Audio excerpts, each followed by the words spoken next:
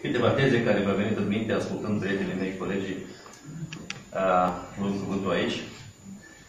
Uh, vreau să vă spun că contactul meu cu Jean Corvulescu, cu opera lui Jean Corvulescu, pentru că, așa cu titlul de informație, vă aduc la cunoștință că el a decedat în 2010, uh, a avut loc prezentată de unui italian.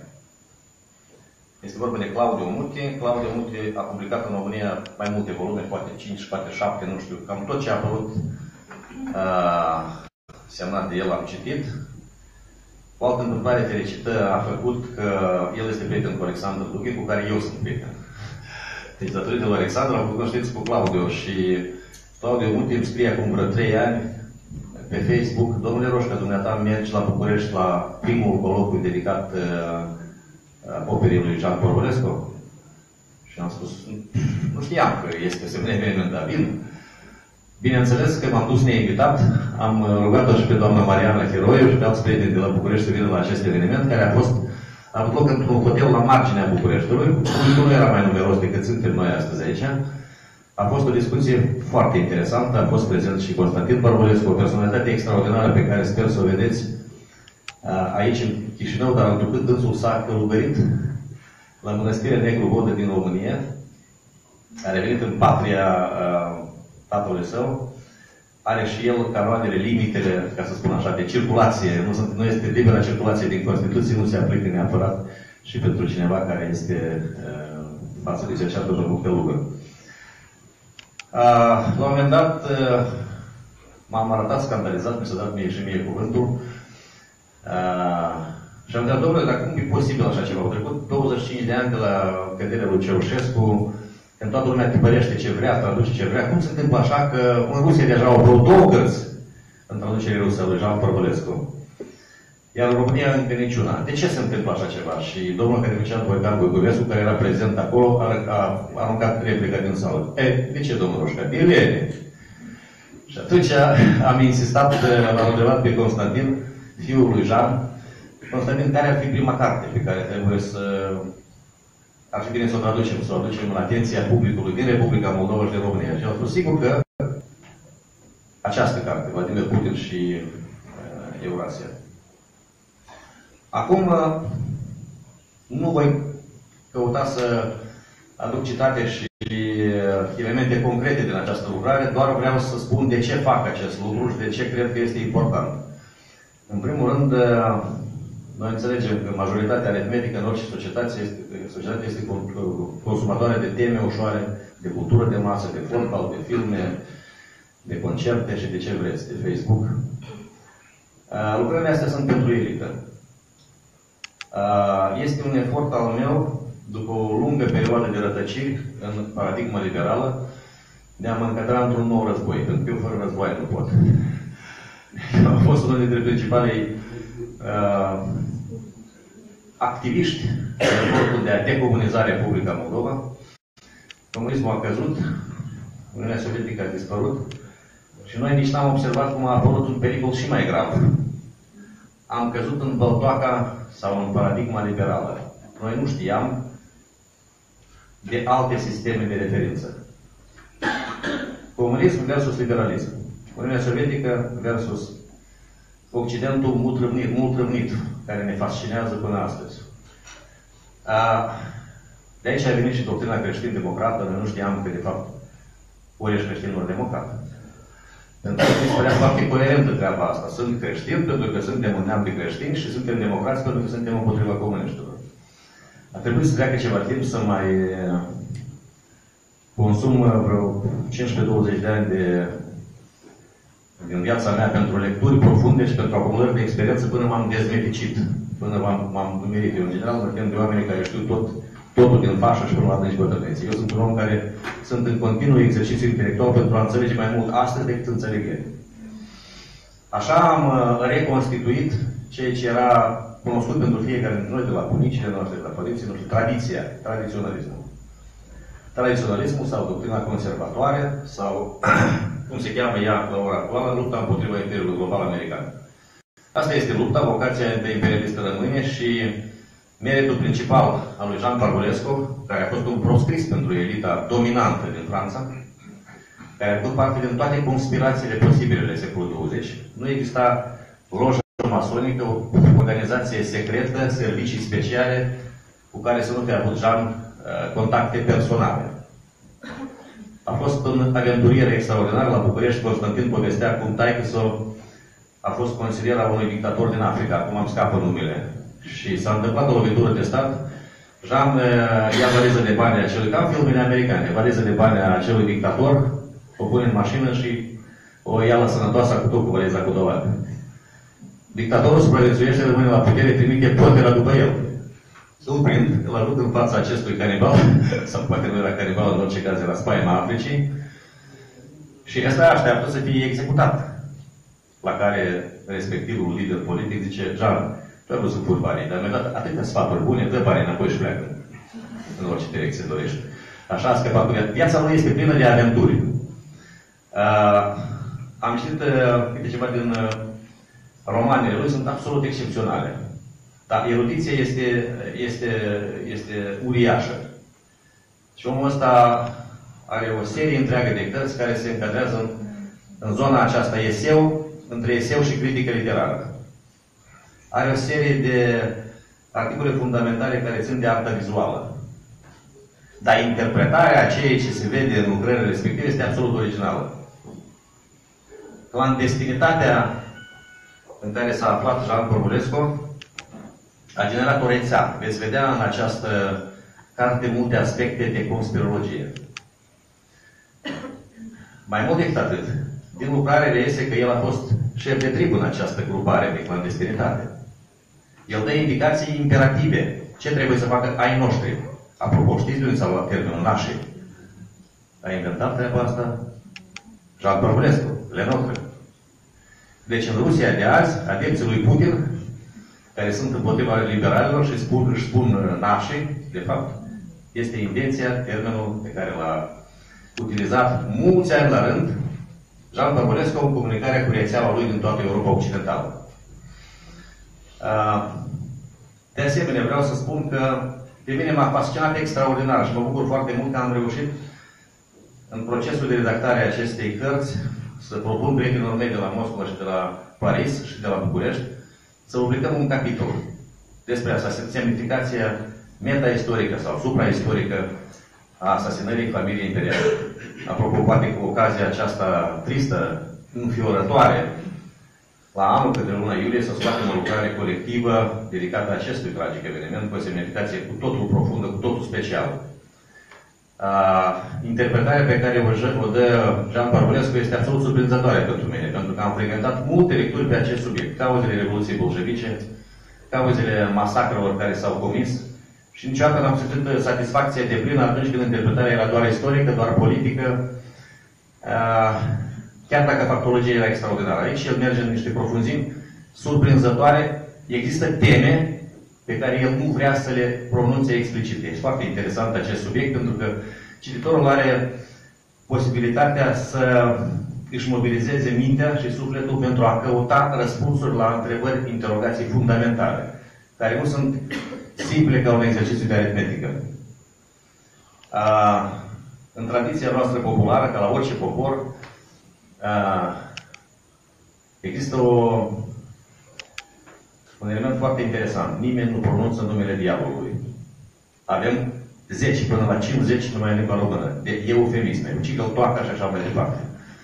Iată așa când vorbește Jean Parvulescu despre Imperiul American, care pentru el este întruchiparea răului absolut, nu doar militar, politic, economic, civilizațional, ci metafizic.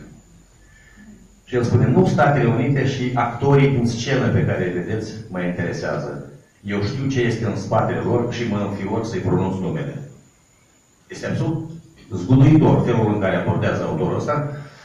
Și linia aceasta directorie este prezentă în toate lucrările lui.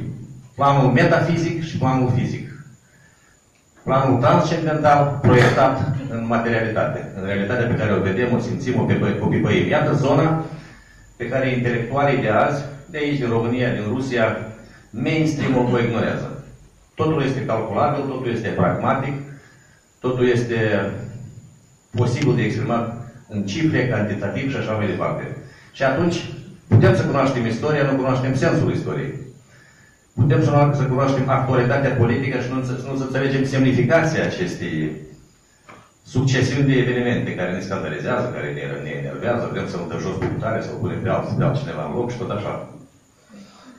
Uh, Jean Parvulescu ne invită la un exercițiu de contextualizare. Evenimentul care se produce, de pildă, unul dintre articole este dedicat alegerilor parlamentare din Germania. Deci, chestie mai banală, dar cine a câștigat, cine a pierdut. Să vedeți care este interpretarea lui.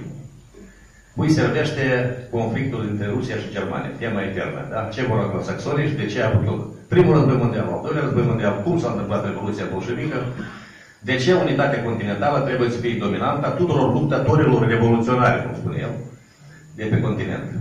Iată, eurasianismul ca și concept vechi de 100 de ani, teoretizat de întemeitorii acestui curent de gândire filozofică și geopolitică, n-a fost cunoscut deloc de către Jean Părgulescu. Și asta a fost marea surpriză când s-a întâlnit Alexander Dugin cu Jean Părgulescu la Paris, în 1989. În această posfață, domnul Dugin mărturisește că a rămas zguduit de complementaritatea viziunilor lui Părgulescu și ale lui asupra realităților profunde care marchează continentul nostru. Deci el are școala exclusiv occidentală. El este catolic. El este axat mai mult pe efortul care sub aspect dogmatic este discutabil, pe efortul de restabilire a unității dintre ortodoxie și catolicism. Sub aspect dogmatic este o erezie. Dar iată că autorul are îndrăzneala, fiind un uh, catolic fervent și practicant, să spună că, la un moment dat, ruptura care s-a produs în istorie trebuie depășită pentru că numai așa se poate restabili unitatea continentului euroasiatic. Acum, dacă nu vă obosesc, vreau să vă spun câteva teze, pentru că ele sunt foarte actuale, mi se pare mie, pentru dezbaterea publică din Republica Moldova și care ies și din această lucrare. Noi suntem în Republica Moldova axați pe niște polemici, conflicte, dezbateri, hai să spunem, dacă nu artificiale, cel puțin naive. Este vorba de chestiunea identitară. Identitatea oricare dintre noi și a oricărei colectivități este formată din mai multe elemente, care sunt complementare. Eu v-aș invita să aprofundăm acest domeniu. Ce înseamnă identitatea continentală eurasianistă? Sub aspect ideologic, euroasiatică, sub aspect geopolitic. Sau dacă mergem iarăși la școala anglosaxonă, una dintre temele dominante în uh, științele socio-umane este uh, know your enemy, dar cunoașteți inamicul, cunoașteți dușmanul. Uh, o identitate colectivă se poate realiza în istorie în măsura în care își autodefinește corect raportul său cu dușmanul extern. Numai că dușmanul extern astăzi este unul extrateritorial. Și aici ne joacă festa obsesia noastră istorică, limitată la regiunea noastră, conflictul dintre Rusia și România, care creează atâtea nervozități în Republica Moldova. Cum se numește limba? E una, dar spunem diferit și de asta ne plângem că, uite, cine va învinge în următoarele alegeri. Cine spune așa sau, sau invers. Treaba asta poate conta pentru unii. Mi se pare însă că identificarea inamicului trebuie să fie una foarte matură, foarte solidă și sunt convins că din grupurile, noi suntem ca un cenacul aici, din grupurile restrânse, poate emana un jet de lumină, poate emana un uh, set de idei care la un moment dat să devină contaminantă. Perioada de astăzi îmi amintește de sfârșiturile USS. De ce? Pentru că foarte puțini inițial oameni aveau îndrăzneala și capacitatea să depășească tiparele care erau atunci în vogă, dominante, da? Realitatea este așa cum este, ea este una statică și nimic nu este de schimbat. Sarabanda evenimentelor ulterioare a demonstrat că lucrurile stau altfel. Dar fermentul a fost necesar. Lăsăm la o parte conspirologia și influența occidentală asupra destrămării RSS-ului, temă profundă și adevărată, pe mine mă interesează însă reacția mentalului colectiv. Ceea ce la început pare scandalos, incredibil, imposibil, peste câțiva ani devine un loc comun. Devine o realitate cunoscută de toți. Iată cum noi suntem la început de cale. Cum facem să depășim inerția de gândire, să depășim uh, zona de confort intelectual care ne învață să pedalăm pe niște prejudecăți foarte comode felul nostru de a vedea lumea. Iată, spargerea tiparelor, scandalizarea opiniei publice mi se pare extrem de importantă. Și penetrarea, așa cum au spus câțiva dintre prietenii mei care au vorbit aici, penetrarea în mediul academic este foarte importantă. Este nevoie să transmitem acest uh, mesaj antisistem prin niște lecturi substanțiale, pentru că uh, un articol de gazetă sau o intervenție televizată poate fi destul de reușită pentru moment, dar ai nevoie de concentrare și de un efort mai solid pentru a înțelege mai coerent ce se întâmplă și de ce se întâmplă treaba asta. Vreau de asemenea să vă atrag atenția asupra acestei laturi care de asemenea nu face parte din dezbaterea noastră publică. Eu fiind în contact foarte strâns și cotidian, permanent, cu prietenii mei din uh, Rusia și din Occident, am observat că unii, unii nici nu se cunosc între ei. Uh, vorbim despre geopolitică, sau vorbim despre economie, sau scriem despre uh, sensul, esența monedei, sau despre politologie. Oameni care inițial nu și-au propus să ajungă la soluția metafizică, revin la rădăcinile creștine ale fiecărui dintre popoarele ale căror exponenți sunt acești oameni. Deci, respiritualizarea lumii, lumii respiritualizarea societății noastre, ține de asemenea de efortul fiecare dintre noi. Mie mi-amintește treaba asta de perioada interbelică din România, care a produs o serie de personalități de elită și care s-au axat pe acest vector tradiționalist. Exact ce se întâmpla în cultura rusă, dar de imigrație. Pentru că Uniunea Sovietică era imposibil un astfel de efort academic. Iată, un alt aspect pe care ar vrea să-l menționez, pentru că deseori comunic cu prietenii mei din România și ne gândim la asemănări și deosebiri. Prin ce se deosebește un moldovean din Republica Moldova de cineva din România? Noi, moldovenii, avem gândire imperială nouă ne este mai ușor să ne pliem pe conceptul unei Eurasii mari. Pentru că noi simțim, ne simțim la fel de confortabil și la Chișinău, și la Irkutsk, și la unde vreți, la Moscova, la Petersburg. Noi nu avem această percepție de margine de lume speriată de un vecin mare și așa mai departe. Și datorită cunoașterii limbii ruse și a culturii ruse, datorită istoriei. Și treaba asta este foarte importantă. Fiind deseori în țările occidentale, la tot felul de foruri academice, discut cu oamenii de acolo. Îndrăzneala pe care o avem noi este mult mai mare decât îndrăzneala pe care o au ei la ora actuală. Și la ei se întâmplă, cum se întâmplă deseori de pildă în România, poate și la noi dar mai puțin, oamenii care sperirea noastră de gândire invită să vină la evenimente publice. Invită să semneze articole, pentru că riscă să-și piardă locul de muncă la catedră, la universitate, la academie, la revista Putare de geopolitică.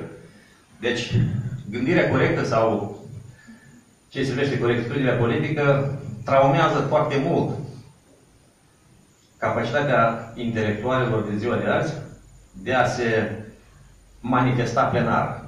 Iată, noi încă avem această libertate de exprimare plenară, putem să depirim această carte și nimeni nu o să ne salte din această sală, putem să uh, aducem critici și așa mai departe. Câteva observații care mi-au marcat mie preocupările ultimilor două decenii. Raporturile noastre cu Occidentul. Mi-e place foarte mult să vă aduc un exemplu în acest sens. Autorii de marcă, în special francezi și italieni, pe care eu îi frecventez, știți cum spun? Noi și Europa. Noi și Occidentul. Noi, Franța, nu suntem Occidentul. Noi, România, nu suntem Occidentul. Noi, Germania, nu suntem Occidentul. Noi suntem popoare continentale, meditative, contemplative, cu percepție verticală asupra realității. Conexiunea la cer primează. Sau, cum spunea Mircea Eliade, două elemente fundamentale definesc orice, definesc orice civilizație, orice cultură. cultul strămoșilor și nostalgia paradisului. E foarte relevantă această frază pe care a spus-o uh, Iriade. Mi se pare că suntem acum la un sfârșit de ciclu istoric, nu mi-aparține numai mie această opinie. Eu am uh, preluat-o de la foarte mulți autori pe care îi uh, frecventez. Suntem la sfârșitul unui ciclu istoric care se numește democrație de masă. Iată un subiect care nu este tabu, dar nu este înțeles. Deci, noi suntem în interiorul sistemului. Nu putem să ieșim în afara sistemului de gândire care s-a impus în ultimele două decenii și jumătate și de aceea mi se pare că democrația de masă și parlamentarismul sunt cele mai uh, potrivite haine politico-juridice pentru societățile de astăzi. Va bine că nu lucrurile stau altfel. Uh, întrebarea este ce se poate face în secolul 21 în, în societățile desacralizate. Sacralizarea puterii este deja imposibilă, sau resacralizarea puterii, revenirea la monarhie absolute, la modelul medieval. Și în același timp, toți înțelegem că, sau foarte mult înțelege, lumea înțelege că paradigma izvorâtă din Revoluția franceză se epuizează este depășită. Nu se mai potrivește intereselor noastre personale, familiale, naționale și continentale. Iată o provocare pentru politologi, filozofi, juriști, economiști, finanțiști. Ce inginerie sociopolitică se produce la ora actuală care să genereze un alt tip de organizare a colectivităților noastre umane. La nivel mare, este clar. La nivelul unor elemente concrete care să aibă relevanța unui text expus și a unei instituții create, lucrurile arată mult mai complexe. Iată, această frământare, aceste căutări sunt prezente profund în opera lui Jean Corvulescu și a celor care urmează uh, după el. Vreau de asemenea să vă spun că oamenii care sunt în cercul Jean Parvulescu vor fi prezenți din nou în Republica Moldova. O să vă fac și o invitație specială, de aceea vă rog la ieșire din nou să, cine n-a reușit să vă lăsați uh, numele și e mail pentru că la 15-16 decembrie va avea o conferință internațională la care vor fi prezenți foarte mulți oameni din străinătate pe teme economice. Ce poate fi mai plictisitor și mai neinteresant? ce cu economia, domnule?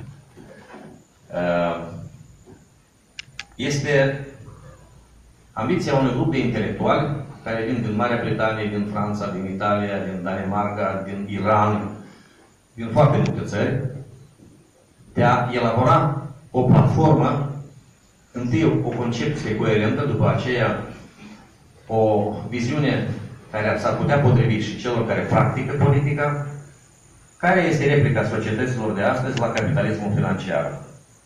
Ce înseamnă globalizarea?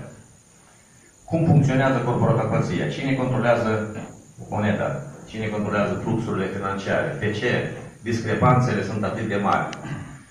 Noutatea absolută a acestei viziuni, acestui nou curent de opinie, se rezumă la următoarele. Stânga și dreapta, pentru prima dată în istorie, devin complementare. Sau așa cum numește Alain de Benoit, un alt gânditor pe care sper să-l avem într-o bună zi la Chișinău, de la Paris, el numește treaba asta momentul populist. Dar nu în sensul în care utilizăm noi acest cuvânt. Reacția popoarelor împotriva elitelor corupte, vândute, a, elite care în politică și în media reprezintă extensiunea banului. Primează capacitatea financiară care produce partide politice și instituții media, prin intermediul cărora se menține controlul asupra statelor, statele sunt captive, nu numai statul nostru, și cum se poate ieși din această captivitate. Iată o temă fascinantă care merită să ne preocupe măcar la nivel de curiozitate intelectuală. Pentru că în felul acesta avem șansa să ne înscriem pe o linie de gândire care în curând va deveni dominantă. Pentru că realitățile sunt atât de presante, discrepanțele atât de înfiorătoare, tragediile care marchează societățile noastre atât de nesuferite încât omul, din instinctul autoconservării sale, a familiei sale, a neamului său, caută soluții. Și soluțiile sunt de fiecare dată complementare, de la cea religioasă până la cea economică. Nu se exclud una pe alta, ci se completează. De aceea una dintre temele care se va dezbate la această conferință va ține de subiectul economia sacră. Cum să organizăm un nou tip de relații interumane în care să nu primeze uh, cifra de afaceri. Și astfel încât majoritatea absolută a cetățenilor întregi la minte să aibă satisfacția de a avea un nivel de viață decent. Nu neapărat prosper, decent. Uh, iată, depășirea paradigmei liberale mi se pare fundamentală și pentru Republica Moldova.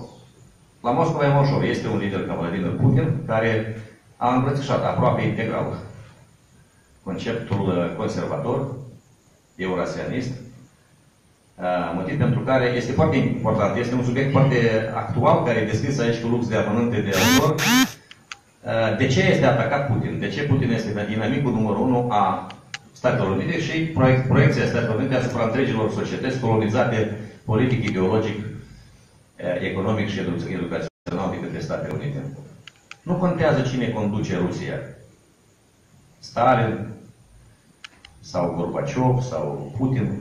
Rusia e, interesant, e interesantă ca imensitate geografică cu niște resurse energetice fantastice. Asta contează. Asta a spus-o anul trecut George Friedman, ați văzut lecția aia lui.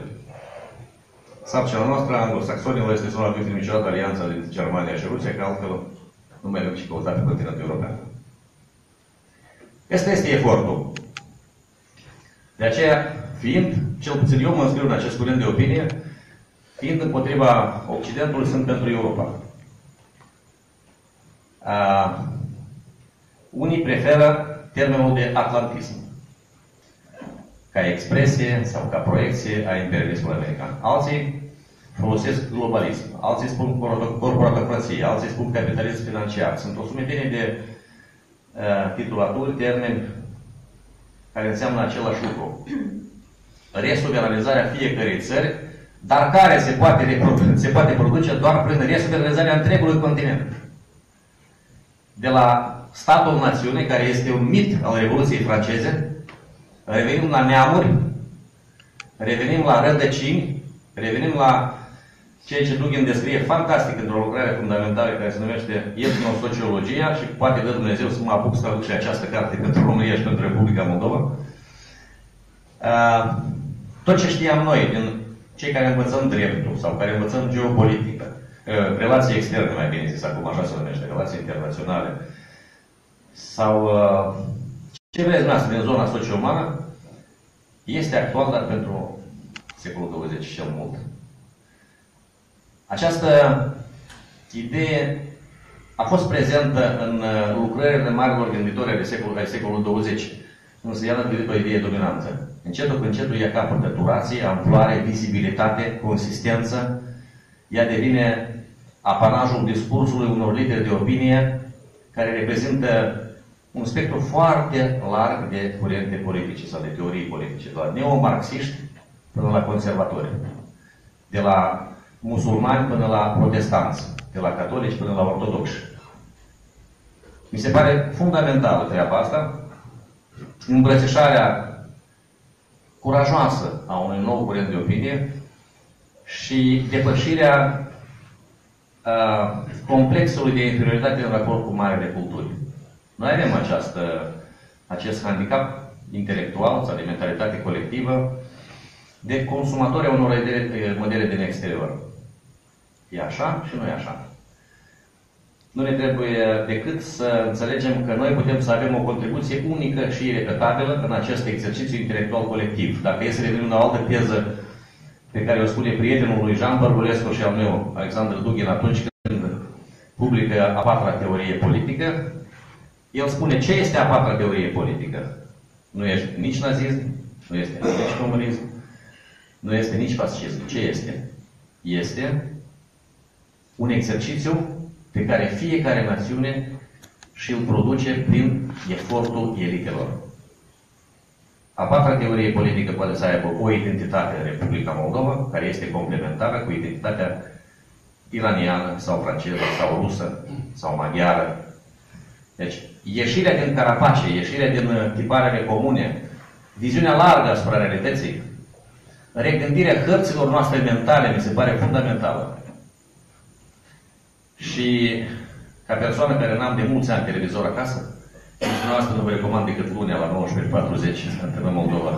Megafon, în rest n-aveți ce vede acolo. Uh, treaba asta, reglarea aparatului optic sub aspect intelectual este una fundamentală.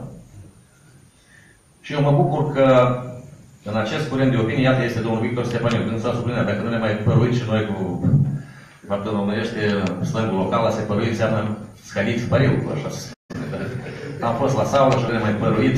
Noi ne păruiam altfel cu domnul Victor Stepaniu. Uh, e foarte interesant. Îl citesc pe dânsul pentru că este de față și pentru că am vorbit cu el nu o singură dată acest subiect. Nu există nicio contradicție în, în interpretarea realității. E foarte important. O viziune conservatoare, tradiționalistă, izvorâtă din tradiție ortodoxă și o viziune mai de stânga, aproape de marxism, sau care izvorăște din marxism, sunt complementare. De ce? Pericolul este comun. Și instinctul de autoconservare a societăților se manifestă prin complementaritatea acestor, acestor uh, abordări. Haideți să vă dau uh, un singur autor. Eu am făcut o recenzie în cartea mea, el se numește, lucrarea se numește Virusul liberalismului și este scrisă de un neo, neomarxist care se numește Amir Samir. Este uh, un intelectual franco-egiptean, neomarxist de asta.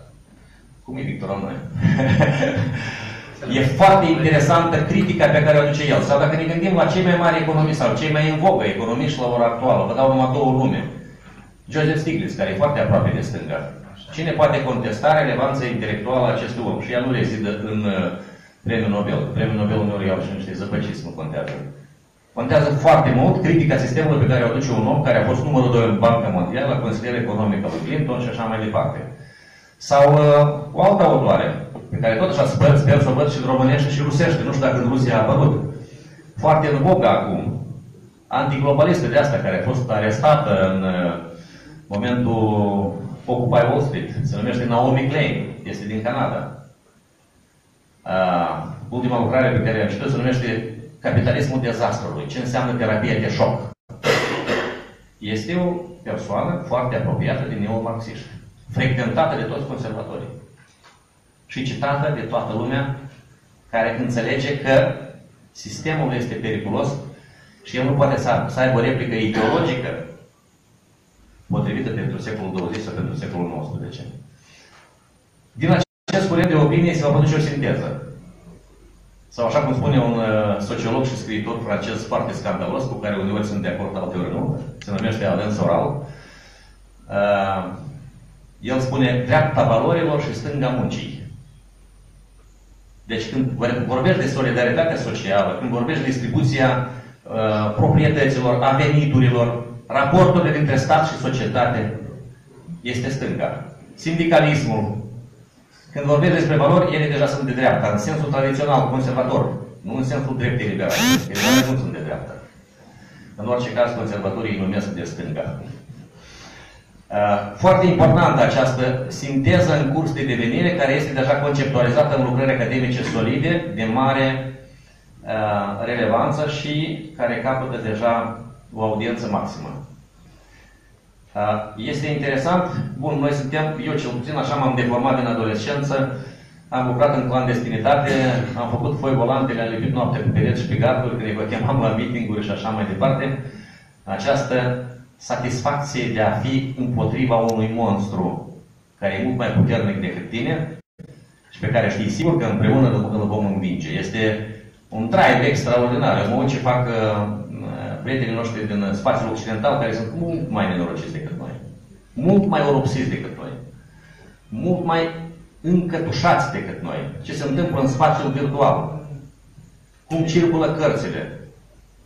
Pentru că marele edituri refuză să tipărească cărți a unor somități excepționale ca relevanță intelectuală și atunci editurile care nu au prea multă trecere în spațiul public, și au curajul, așa cum face doamna Mariana la București, să tipărească niște cărți pentru care nu mai ai trecere la nicio televiziune dominantă.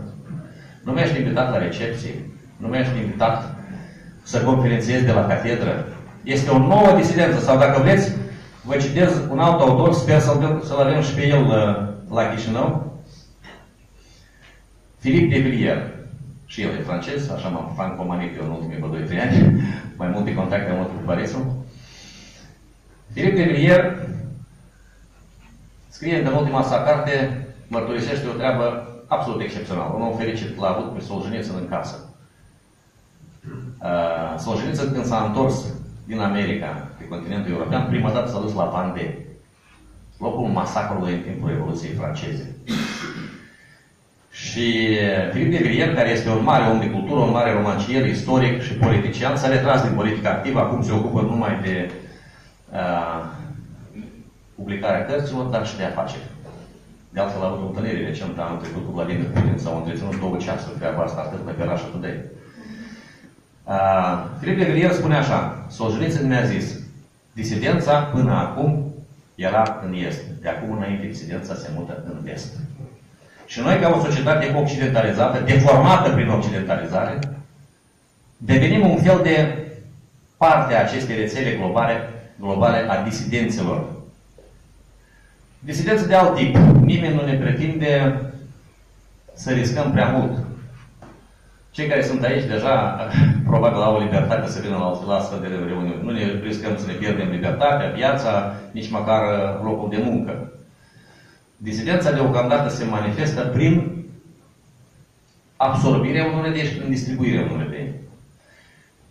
Prin semănarea unor teme care până acum nu că au fost tabu, au fost necunoscute opiniei publice din Republica Moldova. De aceea, eu cred că este un bun început, este un nou început.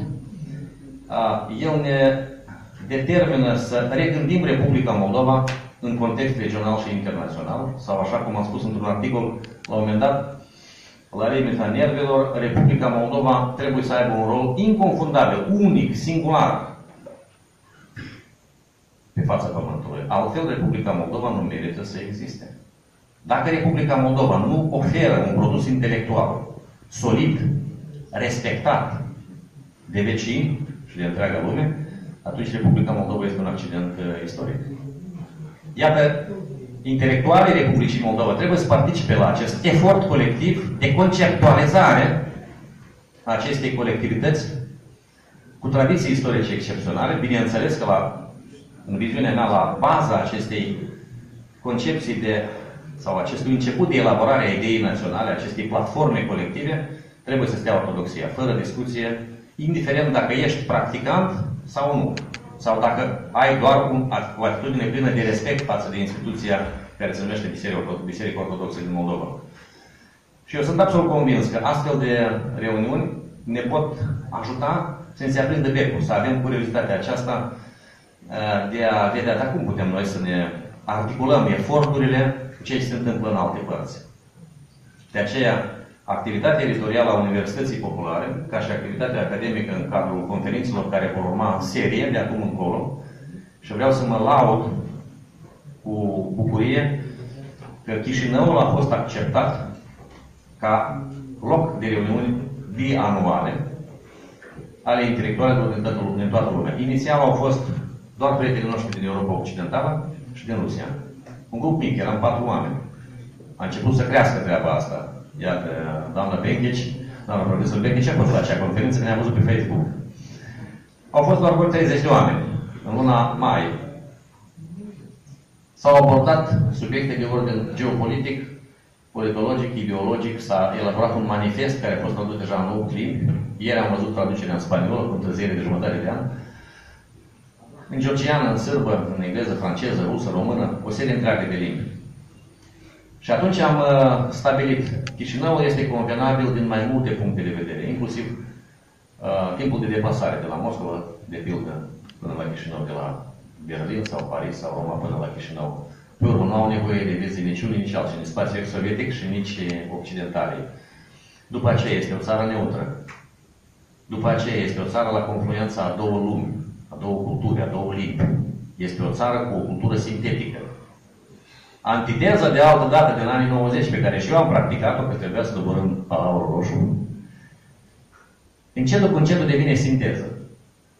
Complementaritatea culturală între, între cultura rusă și cultura română este cea mai mare uh, garanție a succesului nostru de perspectivă. Vă mai spun și dumneavoastră ce am spus uh, într-o emisiune de acum câteva zile pe internet. Când am fost pentru prima dată la Moscova și am făcut cunoștință cu profesorul Dugin, nu venea crede cum, adică eu să cunosc personal pe Dugin, pentru că știți deja pe două, pe, nu știu, poate 10 cărți de reluit. M-a sunat cineva un moment zice, domnul Roșca, profesorul Dugin vă așteaptă la Moscova să vă cunoască personal. Nu venea să cred cum, adică eu înțeleg uh, diferența de calibru, de anvergură. Eu sunt băiat bun, jurnalist, uh, mai comic și niște texte, mai cu public niște cărți și acum este o dimensiune academică cu totul specială. Ne-am prietenit odată deoarece eu știam toată geografia intelectuală. Și când am început să conversăm cu el pe subiecte care ne interesează la fel de mult, el a zis, da, bun, domnul Șca, sunt gata să vin la Chișinău, m-ați convins. Întrebarea mea a fost, da, știți, domnule profesor, de ce am nevoie de dumneavoastră la Chișinău? Chiar spuneți, de ce? Am nevoie ca să faceți o ședință de psihoterapie colectivă. Deci vine asta de cap. Zic, e foarte simplu. Dumneavoastră sunteți și etnosociolog. Înțelegeți ce înseamnă mentalul colectiv. Așa s-a întâmplat parcursul istoriei țării mele, că noi suntem purtători de cicatrici, de traume, de supărări istorice. Vă rog foarte mult, prin discursul dumneavoastră public, să ajutați rusofonii din Republica Moldova să înceteze să deteste România, ca întruchipare rău absolut, iar românofonii din Republica Moldova să ajutați să înceteze să deteste Rusia, ca întruchipare a răului absolut, și să ajutați să înțeleagă că și România, și Rusia, și Republica Moldova au același dușman comun. E mult în asta. Asta mi se pare foarte important, dincolo de orice tipare ideologice sau de orice cronică politică, conflicte dintre șeful statului și majoritatea parlamentară sau ce năzdrăvănii mai face Curtea Constituțională și asta ne pasionează mai puțin, abordările profunde. Eu vă mulțumesc foarte mult, iertați-mă, poate am, de... am depășit timpul pe care singur mi l-am propus, ca să zic așa, dar vreau să vă mai spun următoarele. Noi inițiasem acum un an și ceva Clubul Universității Populare. Am făcut câteva ședințe, unii dintre noastre au fost prezenți și după aceea m-au absorbit activitățile editoriale și chiar n-am, n-am putut să ies în această activitate. Trebuia de unul singur să redactez mai multe lucrări. Dar acum mă gândesc că poate este momentul să reluăm aceste practici. Poate o dată pe lună, poate aici, în acest hotel. Unde să invităm personalități interesante care să vorbească. Să, să fie un loc de dialog public. Dacă presa binevoiește să vină, foarte bine. Uneori vor fi uh, evenimente legate de activități sectoriale, lansări de carte, alteori nu. Putem să discutăm o dată subiecte care țin de geopolitică, altă dată de subiecte care țin de economie, altă dată chestiune identitară, altă dată chestiune religioasă. Noi avem nevoie de astfel de comunicare. Și la aceste reuniuni fiecare se simte liber să vorbească în limba în care se simte confortabil. Îl citam pe fratele meu într-o emisiune de ieri, imprimată ieri, cum povestea uh, el că are două vecine, amândouă unitate, una mozoaică și alta moldoveancă. Alta nu, una nu vorbește românește, alta nu vorbește rusește, dar toată ziua podocănesc, pentru că se înțeleg perfect. Toată ziua stau afară, unul vorbește rusește și alta vorbește românește. Asta este Basarabia, asta este Republica Moldova. Asta este realitatea. Din ce în ce mai puțin ruși în Republica Moldova nu înțeleg. Limba de stat, cum spunem noi eufemistic, da? Uh, lumea înțelege, dar are eu sunt ca vorbitor de limba engleză și franceză, proastă și una și alta, recunosc. Uh, înțeleg ce înseamnă pragul psihologic, jena, dar poate să spun cuvântul bine, pronunția rusească simte, da? Să fim îngăduitori unui cu alții și acest dialog este foarte important, pentru că doritori să ne bată capul în cap sunt foarte mulți. A apărut domnul Băsescu aici, nu vreau să vorbesc despre ce politică și despre politica electorală, dar mi se pare foarte important și pentru transmiterea unui semnal către societate. Fiecare dintre noi are o sumedenie de prieteni, rude, colegi și așa mai departe. Dacă se va simți confortabil, bine, la astfel de întâlniri, acest mesaj de bunăvoință, de cooperare, de schimb de opinii relaxat între oameni care au viziuni diferite, uh, mi se pare important. Nu chiar diferite, pentru că încheie aici cu un postscriptum pe care îl preiau din ziarele anilor 90 de la București. Se dădeau anunțuri de angajare în câmpul muncii. Să mă ierte romii, sper că nu voi fi chemat la Consiliul Antidiscriminare. Se caută lăcătuși, vânzători și așa mai departe. Jos era scris exclus țigare. Uh, eu la aceste reuniuni aș încheia un astfel de anunț cu exclus liberal. Purtătorii virusului liberal să apeleze la doctor. Eu nu sunt doctor, eu sunt gazetar. Deci pe liberal nu o să-i uh, exorcizăm aici. Deci avem foarte mulți prieteni preoți, putem să ducem forța asta la popaș și să îi scuturi o reacție de acordază, poate mai ies dracii. Dar pe bune, această manieră de gândire dominantă liberală devine din ce în ce mai nepopulară și noi ne vom ocupa de surparea acestei interpretări caricaturale, zionale, uh, false a realităților uh, din Republica Moldova.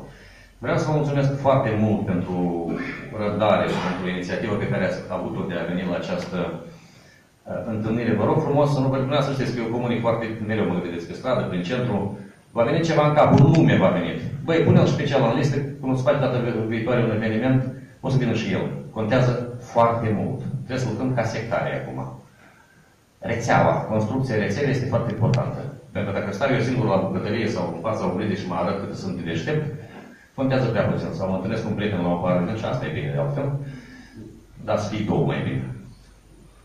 Dar e foarte important ca aceste reuniuni să aibă o anumită regularitate, o anumită coerență și care să producă, într-o perspectivă nu prea îndepărtată, efectul bulgărului de zăpadă.